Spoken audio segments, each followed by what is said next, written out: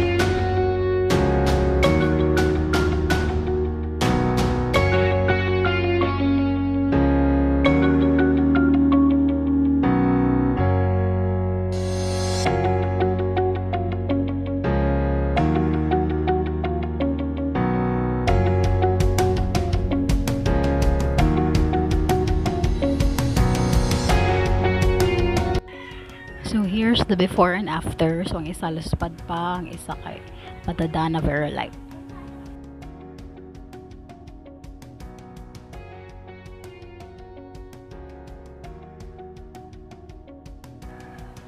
So, let's set it for maybe like a couple of hours to check if nagana gid siya. Kay basin basa ro day pa. So, mo na siya before. Luspad siya kay heavy jud. And this is the finished product. So, ni work siya guys. I let it sit for a couple of hours